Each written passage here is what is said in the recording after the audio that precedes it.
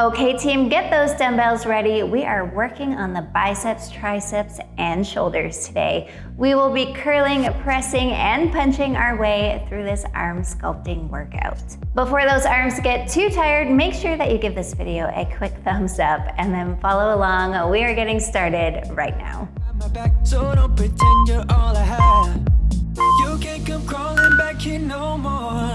First you love me, then leave me, then say you're lost without me. I found myself without you, I'm sure. Look at me now, I survived, so don't you worry about me. Don't you worry about me. Don't you worry about me.